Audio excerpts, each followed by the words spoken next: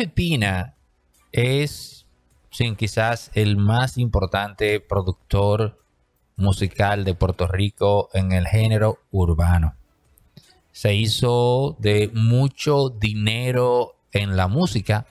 Y aquí es interesante irnos atrás en el tiempo, hacer un viaje, porque amén de las vinculaciones que se hace de Rafi Pina con el bajo mundo, hay que dejar claro que a nivel musical él supo desmarcarse, supo, digamos, hacer dinero en sí. Recordemos el tema aquel de la fórmula, la fórmula de Rafi Pina.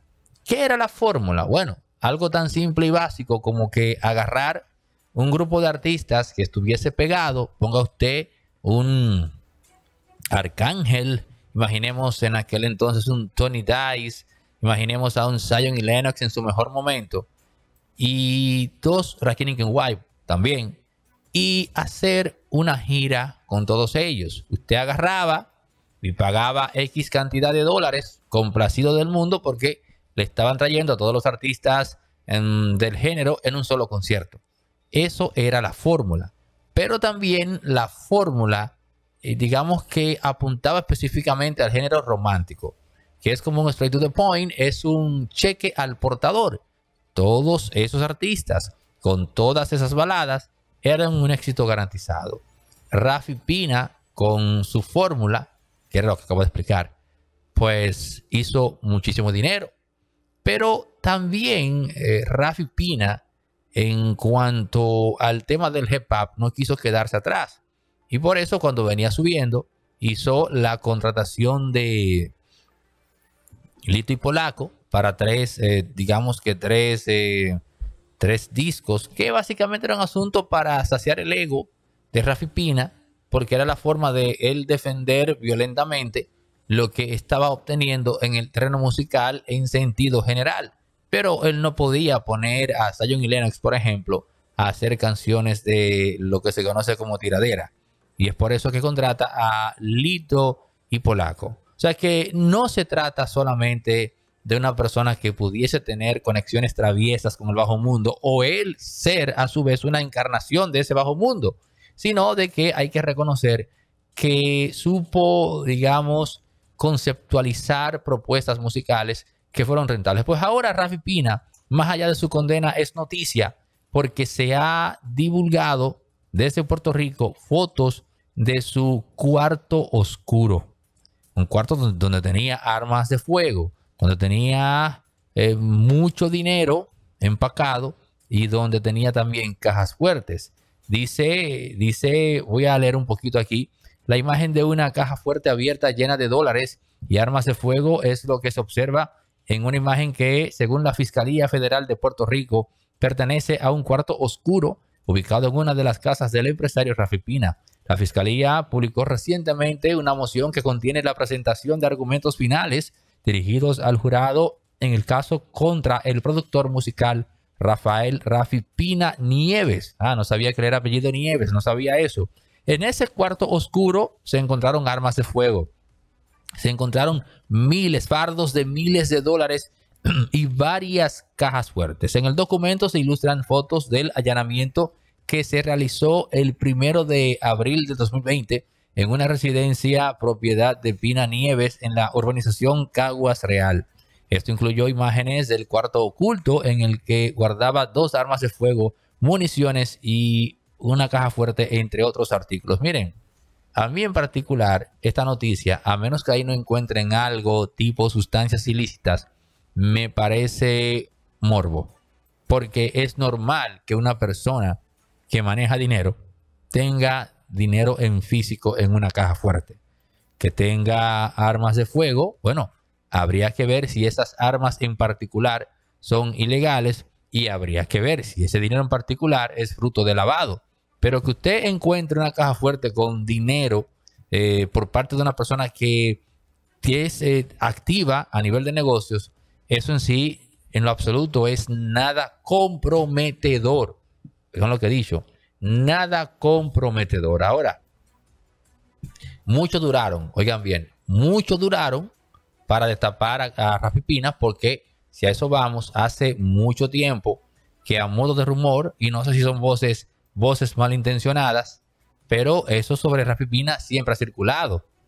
Lo último que él logró para su carrera artística fue representar a Daddy Yankee, porque Daddy Yankee siempre se ha manejado de manera independiente. Y ahora uno cae en cuenta en que, por cierto, esto quizás pueda salpicar a Daddy Yankee. No sé, desconozco en qué términos Yankee terminó siendo manejado por Pina, porque lo cierto es que de entrada a Yankee no le gustaba la idea y durante mucho tiempo trató de mantenerse paralelo, pero caramba, no sé qué pasó. Pero Daddy Yankee terminó en el repertorio de Pina Records, por así decir. Incluso un gran enemigo de Pina, como lo es Tempo, terminó grabando también con Rafi Pina. Ahora, algo interesante se da con Pina. Este pudiera ser, oigan bien, este pudiera ser el giro de tuerca de la música urbana dominicana para írsele delante a Rafi Pina. Porque amén de que si tiene o no conexiones, amén de que si Rafi Pina tiene negocios siniestros, bla, bla, bla, la gran realidad es que Rafi Pina es el cerebro de la música urbana puertorriqueña. Daddy Yankee ha sido cerebro no para el movimiento, no. Daddy Yankee ha sido cerebro para su éxito personal, lo cual no se le puede criticar.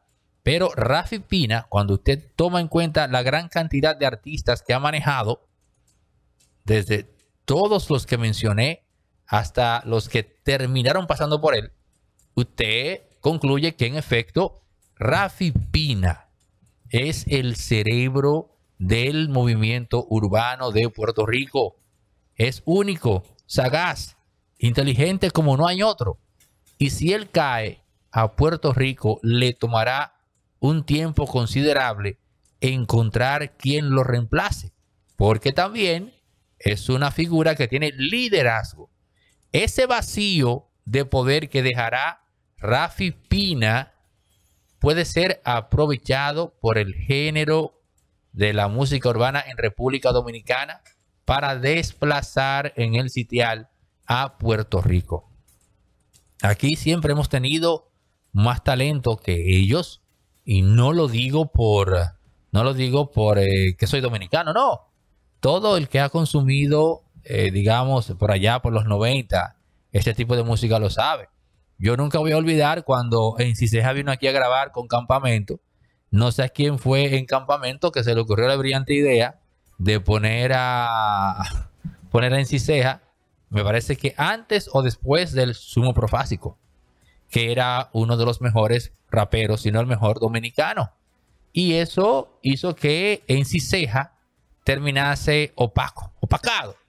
Por eso, aunque, y ojo, estando en Ciseja, en su mejor momento, en el punto en el cual más se les respetaba.